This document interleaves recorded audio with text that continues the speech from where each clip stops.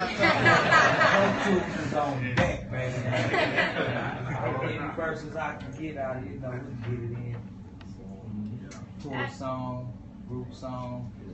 Question, Shireen from Mike. Just um, wanted to check if you have that. Um, you mentioned that Prodigy's sick. Can Yeah. we clarify? Is he here in New Zealand? Is he performing tomorrow? No, no, no. He was like really felt ill last minute, Okay. you know. So uh, it's gonna be me and Noy, you know, really rocking out. Awesome. Twista, when you're getting prepped for a performance, do you listen to your own music to hype you up, or do you listen to other people's? everybody else's. You know, Any it- song in particular? the range is different. It, it might be I might be listening to CeeLo Green, to some James Brown, you know, whatever vibe, you know, or whatever music that I think puts me in that right vibe to go into a show. So music is always different, versatile that I'm listening to. We have a question for Bone Thugs. Um, you each worked, or you all worked with uh, Tupac and Biggie, respectively, on Notorious Thugs and Thug Love.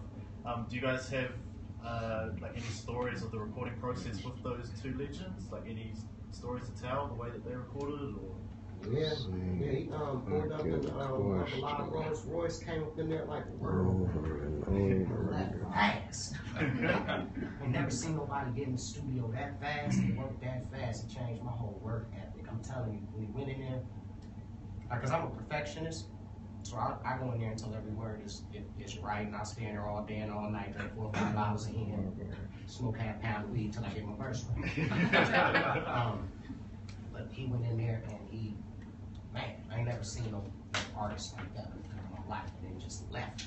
Yeah, I never seen it. Same question. It was amazing, for real. Like just that part of it, that work ethic was cold. And then uh, Biggie Smalls, um, I remember I passed out in that studio trying, trying to smoke with Biggie. I woke up, Bizzy woke me up. I did my first boom like that.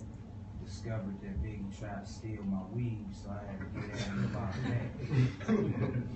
The whole ounce, you know. This ain't no Right? It's California. Back in 90, what, 95 that was, or something like that. Yeah, it was a minute. Yeah, 95, 96. 97, it was 97. We, I, we had a good time in the studio with them. Little Cease, Puffy, and them was there. Little Kim, the whole Junior Mafia. So we was in the studio about a hundred deep. You know what I mean? So Stevie J was there too. Stevie J, Yeah, yeah, yeah, yeah. He was wild. Then. Yeah, um, we had a great. Yeah, we had a great time in the studio. With Biggie at that time. speaking of Stevie J, would you guys ever consider doing reality TV, or that a no go? We are loving hip hop. So whatever is cracking, that's what we gonna do. I, I don't know. I think my, my homeboys they they turned it. You know, I think they were doing something at first. and I don't know if they're still doing it or not. I don't know. I don't know. No reality TV for me. Hey, money right, I'm there. But uh, I don't know. They might be scared of me though on reality. TV. Too real? Yeah, I'm, I'm Too- too, too I'm real? too real for TV, man. You know what I mean? So if anybody interested, you know, print that, print that. Yeah, talk to me. My life is is incredible. What, what about you and Tupac in the studio together? You recorded. Yeah, you must have knew. Uh, you you felt me like want to elaborate, huh? Just everything that that Bizzy said. He had an uncanny work ethic. Like I've never seen nobody that incensed in the studio to do that amount of music in such a short time. Like he